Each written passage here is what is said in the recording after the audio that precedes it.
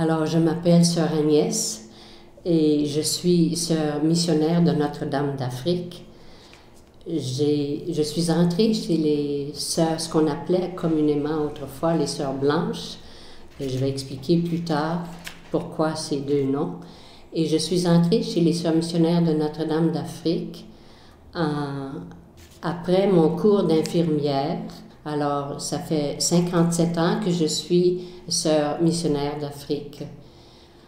Euh, après ma première profession, je suis allée en Angleterre où j'ai fait un cours de sage-femme pour me préparer pour mon travail en Afrique. Je suis partie en 1966 pour la Tanzanie. J'ai été presque 38 ans en Tanzanie et ce sont de très belles années de ma vie. Et je suis revenue au pays, ici au Canada, et depuis, euh, j'ai fait différents travaux et maintenant, je suis maintenant dans l'équipe de leadership.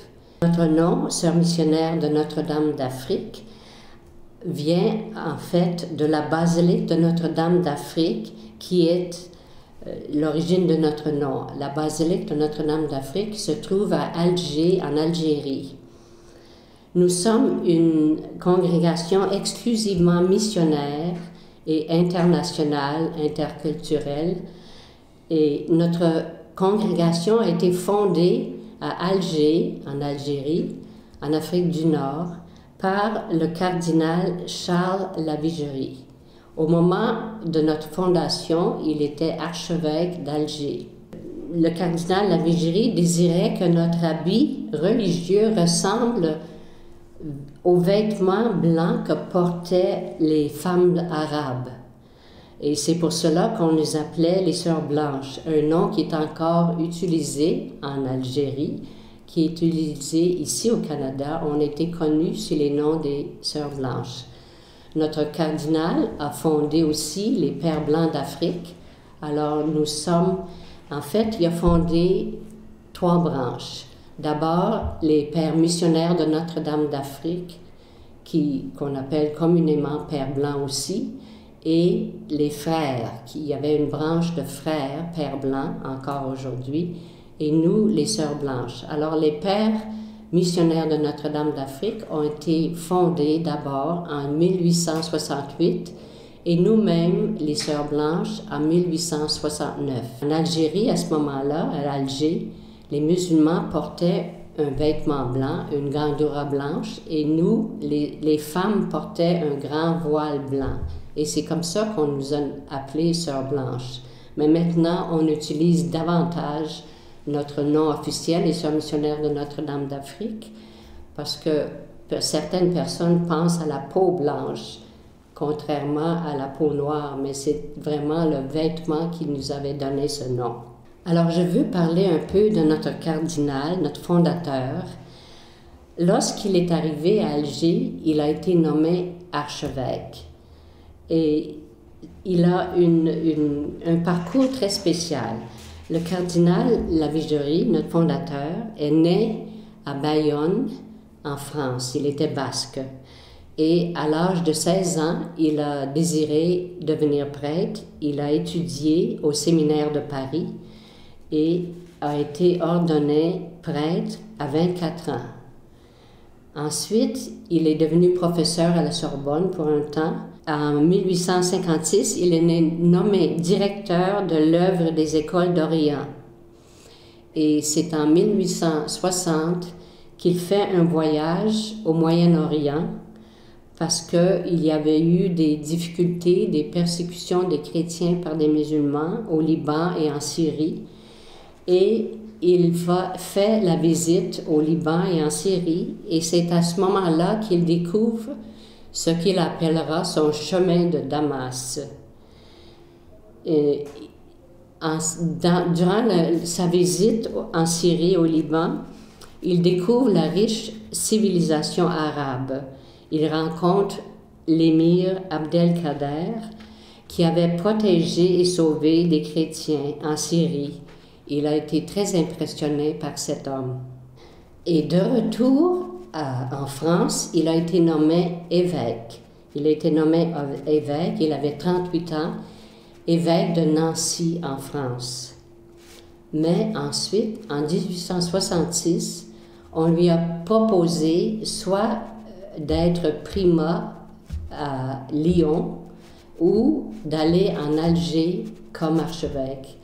Et en 24 heures, il avait fait sa décision.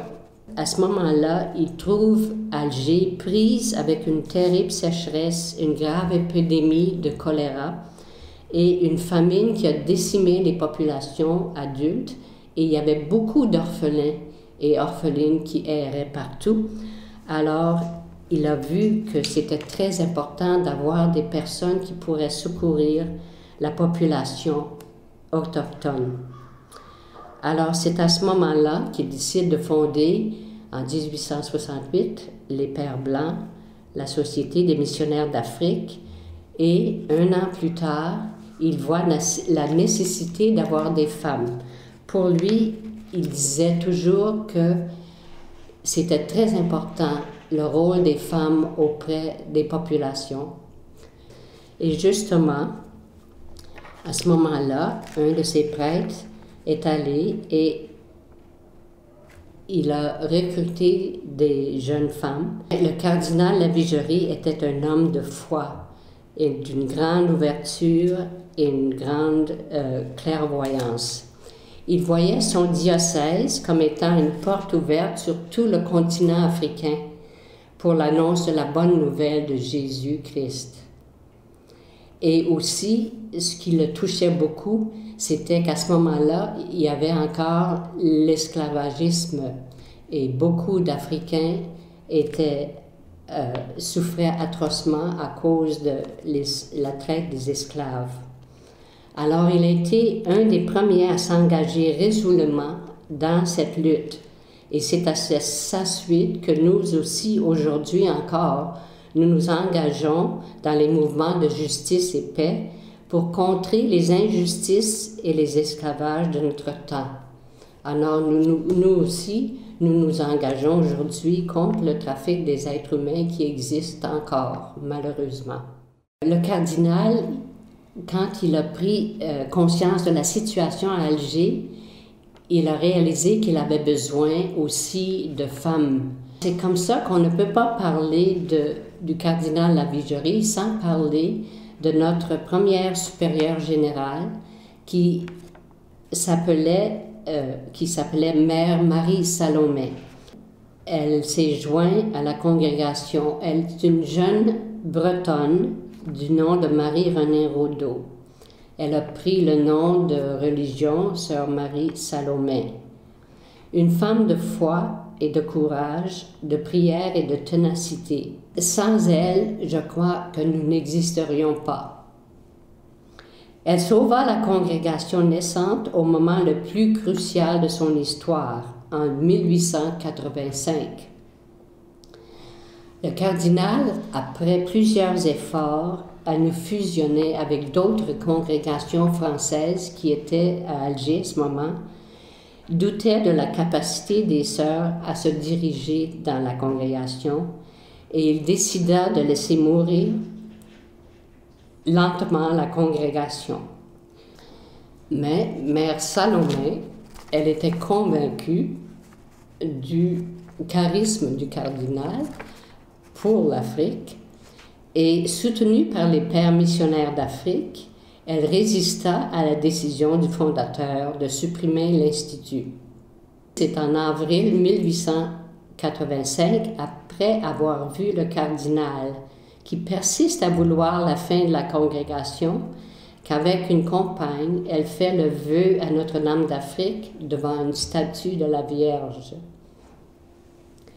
Le vœu, c'était que partout où serait la maison mère, il y aura la statue de Notre-Dame du Vœu. Et voilà qu'en octobre 85, une jeune Canadienne du nom de Adelaide Morin se présente. Mère Salomé voit cela comme un signe de la Providence. Cette Adelaide Morin, elle avait écrit Et Mère Salomé avait répondu que on verrait l'année prochaine, mais sans attendre une réponse.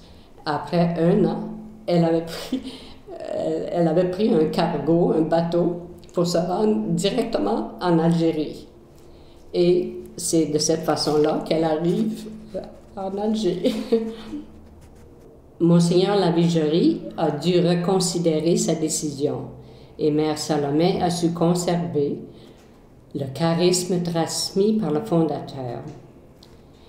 Elle fut réélue supérieure générale d'une période de 43 ans. Elle donnera une impulsion profonde à notre congrégation.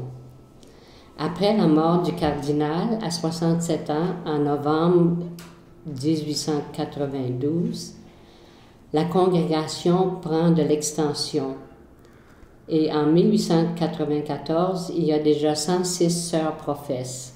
Les premières sœurs sont envoyées en Afrique équatoriale et en Afrique de l'Ouest, c'est-à-dire qu'en Afrique équatoriale et en Afrique de l'Orient. Alors, les premières sœurs, la première mission était à Ushirombo, en ce qui était alors Tanganyika, qui est maintenant Tanzanie. En 1960, euh, vu les difficultés après l'indépendance, nous avons dû transférer la maison généraliste à Rome. Alors, la statue qu'on appelait la statue de Notre-Dame du Vœu a été un soutien dans ce moment difficile à traverser. La statue est apportée à Rome et toujours à notre maison généraliste qui est à Rome. Dès les débuts, Monseigneur Lavigerie nous donnait une directive bien précise. Les missionnaires sont des initiateurs. Le travail durable sera accompli par les Africains eux-mêmes devenus chrétiens et apôtres. Alors, nous, les missionnaires Sœurs Blanches, nous avons contribué à la naissance et la formation de 22 communautés religieuses féminines africaines dans 11 pays différents d'Afrique. Elles sont autonomes aujourd'hui et nombreuses. On, pourrait compter plus de 500 000, je crois. Plus de, oui. Et œuvrent dans tous les secteurs. Plusieurs sont à leur tour devenus missionnaires ailleurs. Il y en a même ici au Canada, en Saskatchewan. Depuis les années 60, nous accueillons dans notre congrégation des jeunes femmes d'origine africaine qui se sentent appelées à une vocation exclusivement missionnaire et attirées par notre charisme. Deux d'entre elles sont présentement sur le Conseil général. Partout où cela est possible, nous vivons en communauté internationale. Nous nous engageons dans une variété d'activités apostoliques selon les appels de l'Église du monde et selon nos ressources en personnel et les capacités et talents des sœurs. Convaincus que l'Afrique a une importante contribution à apporter au monde, nous choisissons de participer à en faire une réalité. Cela nous fait vivre la rencontre, la réconciliation, l'engagement pour la justice, la paix et l'intégrité de la création dans nos communautés locales, internationales et interculturelles, ainsi que dans la communauté globale. Nous le faisons à travers des orientations apostoliques qui nous concernent toutes, indépendamment de notre contexte. Rencontres et dialogues interreligieux et interculturels, esclavage moderne et trafic humain, nous travaillons en réseau avec d'autres contre la traite des êtres humains, de manière à promouvoir la dignité des personnes. Nous travaillons auprès des réfugiés et personnes déplacées et nous avons soin de l'environnement.